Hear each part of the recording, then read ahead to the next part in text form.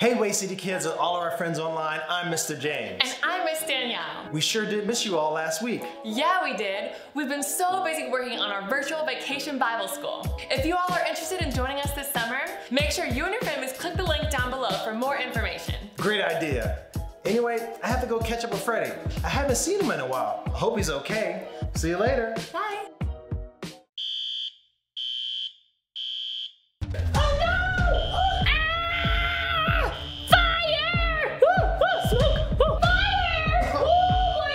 What's going on? What's up with the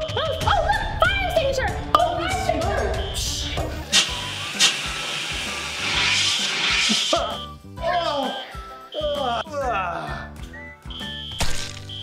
Ugh. Ah. Ugh. Ah. Ugh. Sorry, Mr. James. I left my lunch in the microwave for too long and it started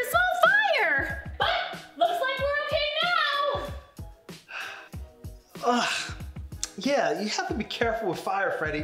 Fire is no joke. Yeah, I know, Mr. James. I could feel the heat and how hot it was just by getting close to it. And those flames can spread fast. You got that right. Well, let me get cleaned up and help you air this place out. Let's listen to a story about three friends who had a major encounter with fire. Check this out.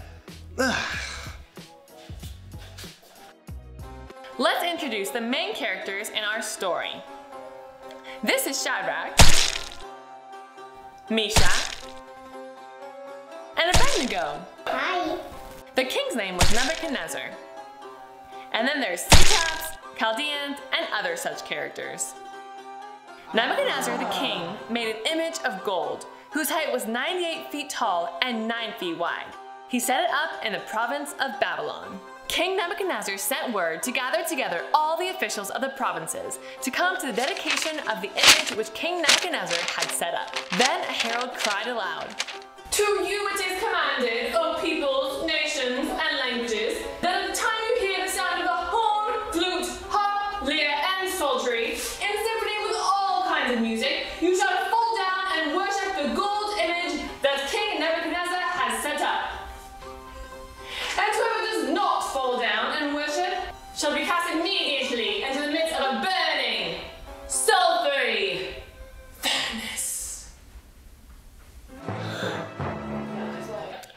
was a big problem for Shadrach, Meshach, and Abednego. They knew God commanded them never to bow down or worship idols. They believed their God was the one true God, the creator of all things, and he was the only one deserving worship. But they had to choose between doing as the king said or the penalty, which was being thrown into a fiery furnace. So the time came for the dedication.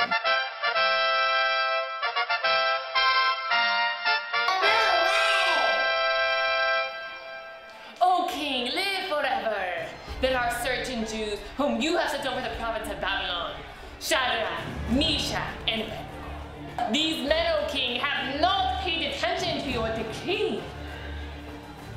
They do not serve your gods, nor do they worship the gold image that you have set up. Hmm.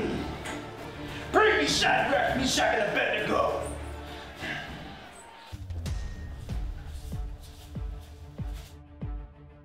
Is it true, Shadrach, Meshach, and Abednego, that you do not serve my gods or worship the gold image that I have set up?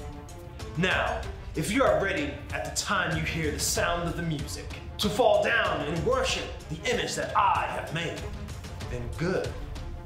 But if you do not, you shall be immediately cast into the midst of the burning fire furnace. The burning fire furnace. The burning fire furnace. And what God will be able to deliver you from my hands? O Nebuchadnezzar, we had no need to answer you in this matter. If we are thrown into the blazing furnace, then God, we too can deliver us.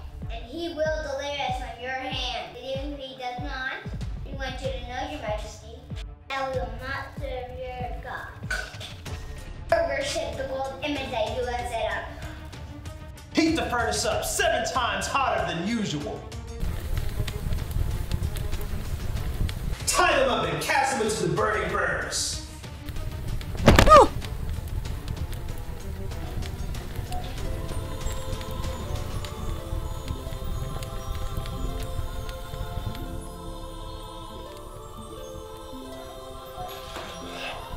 Did we not cast three men bound in the midst of the fire? It is true, O king. Look, I see four men loose walking in the midst of the fire, and the fourth looks like a son of God. Shadrach, Meshach, and Abednego, servants of the Most High God, come out and come here. Not even a hair is singed, and they don't even smell like smoke.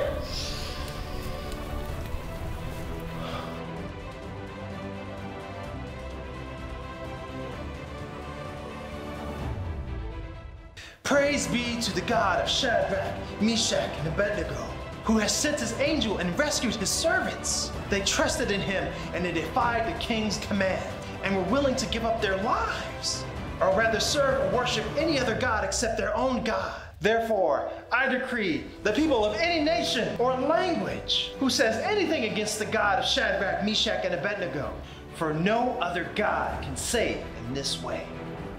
Then the king promoted Shadrach, Meshach, and Abednego in the province of Babylon.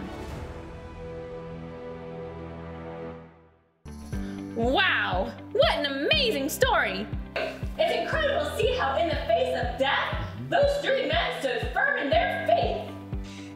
I can imagine that it must have been super scary to stand up for their faith amidst a culture where everyone is doing the opposite. But you know what? God was with them and He promises that He'll be with us. You're right! That reminds me of Joshua 1 9. If you guys remember, then let's say it together. Have I not commanded you? Be strong and of good courage. Do not be afraid. Do not be dismayed. For the Lord your God will be with you wherever you go. That's right, Freddie. God is with us, and because of that, there is no challenge that we can't stand up against. Amen to that, Mr. James. Thanks for sharing that amazing story. But, uh, I should probably finish cleaning this up. Hee hee. Good idea, Freddie. See you next time. Bye. Bye!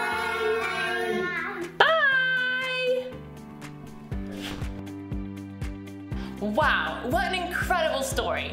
The fire had no power over Shadrach, Meshach, and Abednego because their God was bigger and stronger than any situation that they could face. And when God is with us, who can be against us? Yes, God is able to protect us and keep us no matter the situation we're in. These guys did what was right and left the rest to God. They knew that it was more important to obey God rather than men. And they were willing to risk their own lives in order to be faithful and true to God. And the best part is, they knew God was powerful enough to save them. But they said, even if He doesn't, we will still do what's right. Yes, they said God can save us and God will save us, but even if He doesn't, we will not bow down and worship your idol. God has the power to save us, just like He did Shadrach, Meshach, and Abednego. But even if that wasn't part of God's plan, and those three guys were burned in the fire, God would still be with them and would deliver them safely home to be with Him, and would work that out in His bigger, eternal plan. They knew this, and that's how they were able to trust God and stand firm in their faith. They knew that regardless of how the situation ended, God could be trusted and was in control. You know, the same is true for us. Remember that this week. Let's pray. Dear God, we know that you are a faithful God and that you can protect us no matter the situation, Lord. So help us to be faithful in the face of any obstacle. We love you, Lord. We thank you and we pray these things in Jesus' name. Amen. We hope you guys will trust God this week and remember how mighty and big our God is. We'll see you next time. Bye. Bye.